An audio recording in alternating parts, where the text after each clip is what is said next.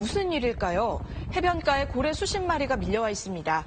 스리랑카의 수도 콜롬보에서 260여 킬로미터 떨어진 트링코말리 해변인데 며칠 전 불어닥친 사이클론 때문에 고래들이 모래 위까지 밀려온 겁니다. 이 모습을 본 마을 주민들이 함께 힘을 합쳐서 고래들이 바다로 돌아갈 수 있게 도와주고 있죠.